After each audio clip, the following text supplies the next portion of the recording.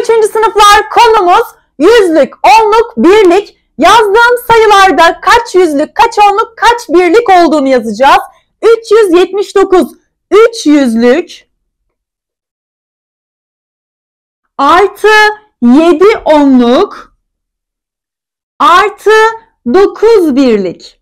Peki 3 yüzlük kaç yapar? 300. 7 tane onluk 70 yapar. 9 birlik 9 yapar. Topladığımız zaman 379. Bakın aynı sonuca ulaştık. Öyleyse doğru yaptık. 805'e bakıyoruz. 8 tane yüzlük var. Artı onlar basamağında 0 var. Yani onlukları yok. İstersek 0 onluk yazabiliriz ya da hiç yazmayabiliriz. Ben yazmamayı tercih ediyorum. Birler basamağında 5 birlik var. 800'lük 800 yapar. 5 birlik 5 yapar. Topladığımız zaman 805. Aynı sonuca ulaştık. Doğru yaptık. Yüzlük, onluk, birliklerine ayrılmış sayının hangi sayı olduğunu belirleyelim.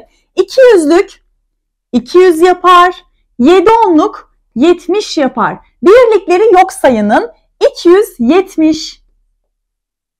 500'lük 500 yapar. 5 birlik 5 yapar. Sayının onlukları yok. Sayımız 505. 900'lük 900 yapar.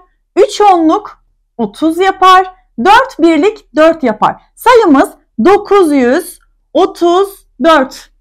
Konumuzun sonuna geldik. Kendinize iyi bakın. Görüşürüz.